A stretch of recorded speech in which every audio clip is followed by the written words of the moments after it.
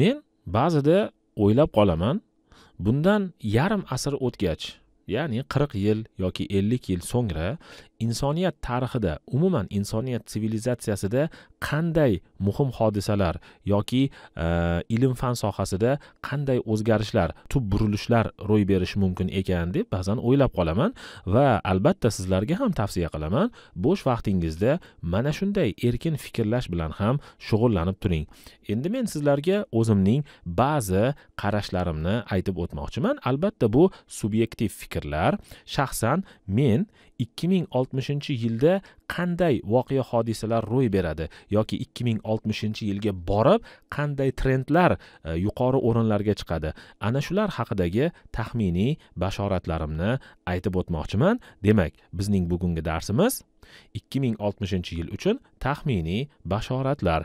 Men mana bu taxminiy degan so'zning tagiga chizib qo'yganman demak bu albatta shunday bo'ladi degani emas. Bu faqatgina mening shaxsiy fikrim va taxminlarim. Xolos ularning birinchisi tibbiyot sohasida ro'y beradi yoki men aytmoqchi bo'lgan bashoratlarning birinchisi tibbiyot sohasiga tegishli bo'ladi. Bu esa insoniyatning o'rtacha umri haqida bo'ladi. Demak mening aytmoqchi bo'lgan fikrlarimning birinchisi tibbiyot sohasida ekan. Insoniyat umrining o'rtacha yoshi yuz yoshdan oshadi. Hozirgi kunda yer yuzida odamlarning o'rtacha yoshi shaxsan mening fikrimcha yetmish yil bo'lsa kerak ya'ni oltmish yetmish yilni tashkil qiladi va bu ko'rsatkich davlatdan davlatga hududdan hududga o'tganida o'zgarib turadi. Ya'ni yetmishdan yuqoriroq yoki yetmishdan pastroq bo'lishi mumkin. Lekin o'rtacha yosh oltmish besh yetmish yoki oltmish yoshni tashkil qiladi baribir mening fikrimcha. Lekin ellik yil qirq yil o'tib meditsina tibbiyot rivojlanadi va inson tanasini boshqarishning molekulyar asoslari o'rganilsa kerak deb o'ylayman. Ya'ni e, umumiy tanaga emas balki tanani tashkil qiladigan molekulalarni boshqarish yoki ularga qaysidir darajada ta'sir ko'rsatishni meditsina o'rganadi ya'ni tibbiyot shu darajada rivojlanadi va qarishning molekulyar asoslari o'rganilsa kerak deb o'ylayman. Va kichik bir kasallik yoki inson tanasidagi kichik bir o'zgarish hisobiga inson umrining tugashi e, ro'y bermaydi yoki ro'y bermaslik boshlanadi deb o'ylayman. To'g'ri insoniyat umrining tugashi ya'ni o'lim hodisasi har doim ham ba'zi sabablarga bog'liq bo'ladi. Ana o'sha sabablarga ta'sir ko'rsatishni insoniyat o'rganadi va bu sabablar molekulyar darajada bo'ladi deb o'ylayman. Va bundan tashqari insoniyat umrining o'rtacha yoshining yuz yoshdan oshishiga sabab bo'ladigan boshqa ba'zi faktorlar ham bor. Ular demak aytib o'tdim tibbiyotning rivojlanishi bo'lsa yana sog'lom turmush tarzining yanada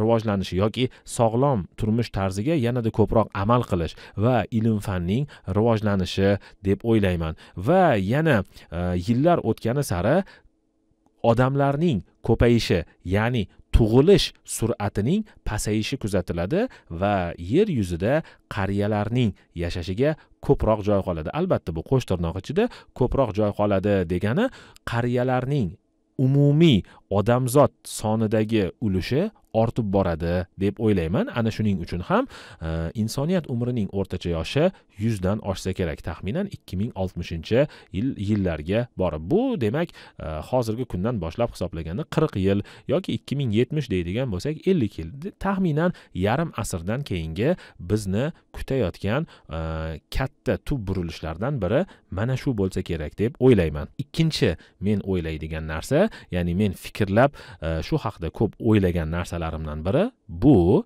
biologiya va raqamli texnologiyalarning integratsiyasi. Nafaqat integratsiyasi balki integratsiyasining yuqori darajalarga ko'tarilishi deb o'ylayman. Chunki hozirgi kunning o'zidayoq biologiya va raqamli texnologiyalarning integratsiyasi mavjud. Misol uchun deylik tug'ma ko'r bo'lgan e, odam yoki biror bir sabab bilan ko'r bo'lib qolgan odamga ko'rish imkoniyatlarining qaytarilishi.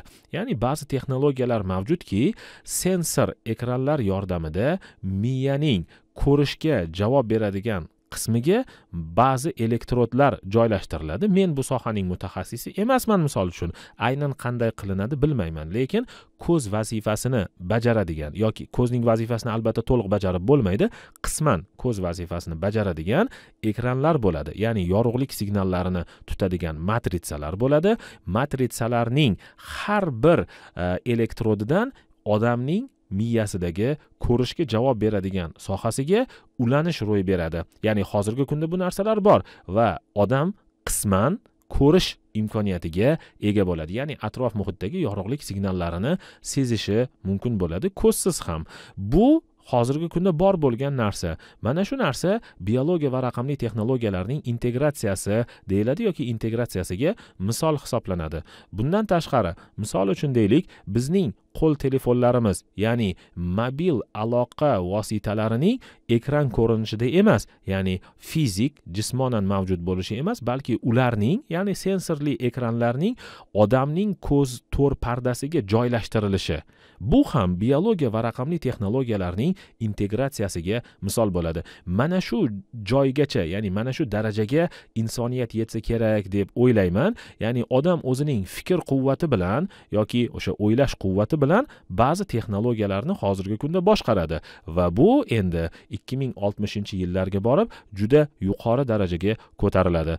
Odam o'z qo'li bilan hozir mobil telefonlarining sensorli ekranlari orqali o'sha telefonlarini mobil qurilmalarini boshqarsa endilikda bu ish odamning miyasining o'zidayoq yoki odam ko'zining to'r pardasidayoq amalga oshiriladi shundoq ham bugungi kunda odamlarning aksariyati o'zining hayotini e, ijtimoiy tarmoqlarsiz yoki virtual hayotsiz tasavvur qila olmaydi yoki juda ham qiynaladi. Shu e, ijtimoiy tarmoqlarga yoki virtual hayotga juda ko'p bog'lanib qolgan odamlar bor. Agar biologiya va raqamli texnologiyalarning rivojlanishi integratsiyasi tezlashib ketsa shu sur'atlarda davom etsa kim biladi deysiz? Balki haqiqatdan ham insoniyat o'zining e, umrining asosiy qismini virtual hayotda o'tkazishi mumkin va e, o'zining fikr quvvati bilan ya'ni miyasidagi fikrlash quvvati bilan texnologiyalarni raqamli tarzda boshqara olsa kerak deb o'ylayman. O'zi shundoq ham misol uchun ko'zni misol qilib keltirdim. Ba'zi e, sabablarga ko'ra odamlar qo'li yoki oyog'idan ayriladi yoki ularning bir bo'lagidan ayrilib qolishi mumkin. Bu e, hayotda bo'lib turadigan narsa va ularga mana shunday e, protezlar o'rnatiladi protezlar qo'shiladi. Protezlarni odam o'zining fikrlash quvvati orqali ham boshqarishi mumkin. Ya'ni sun'iy barmoqlarini yoki sun'iy oyoqlarini qimirlatishi harakatga keltirishi mumkin. Bu bugungi kunda bor bo'lgan narsalar va mana shu e, texnologiyalar yanada rivojlanib ketsa kerak deb o'ylayman. Mana shu ikkinchi e, aytib o'tgan biologiya va raqamli texnologiyalarning integratsiyasi dedik. Buning mantiqiy davomi sifatida menda yana bir fikr bor. Bu fikr quyidagicha biologik manipulyatsiyaning kuchayishi. Biologik manipulyatsiya operatsiya degani men mana bu tibbiyot sohasida ham aytib o'tdim. Odamlarning e, dnkasiga ta'sir ko'rsatish rivojlansa kerak deb o'ylayman. Ya'ni odamlarni yoki umuman jonzotlarni biologik turlarni e, manipulyatsiya qilish kuchayadi va buning natijasida insoniyat intellektining yanada o'sishi kuzatiladi yoki intellektning rivojlanishiga ta'sir ko'rsatish mumkin bo'ladi. Misol uchun o'ylayman va albatta mening shaxsiy fikrim bu to'g'ri yoki noto'g'ri yoki mana shu ish yaxshi yoki yomon bo'ladi degan e, qarashim yo'q. Bu shunchaki fikr. Misol uchun ruhiy jihatdan biroz nosog'lom bo'lgan odamlar bor. Albatta bu inson odamning e, miyasida bo'ladigan jarayonlar aksi hisoblanadi. Ana o'shanday odamlarga yoki ana o'shanday odamlarni biologik manipulyatsiya qilish orqali ularning intellekti o'stirilishi mumkin. Ba'zi intellektual nosog'lom bo'lgan yoki biroz rivojlanishdan orqada qolgan bolalar bo'ladi.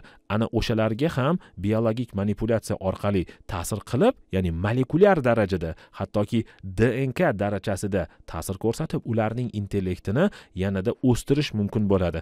Menimcha ana o'shanday qanday kasalliklarga barham beriladi? Tibbiyot rivojlanib ketsa kerak deb o'ylayman va e'tibor berayotgan bo'lsangiz men keltirgan mana shu taxminlarimning dastlabki uchtasining hammasi tibbiyot sohasi va biologiya sohasiga taalluqli fikrlar hisoblanadi. Va endi bulardan biroz boshqacharoq bo'lgan yana bir mening shaxsiy fikrim bor.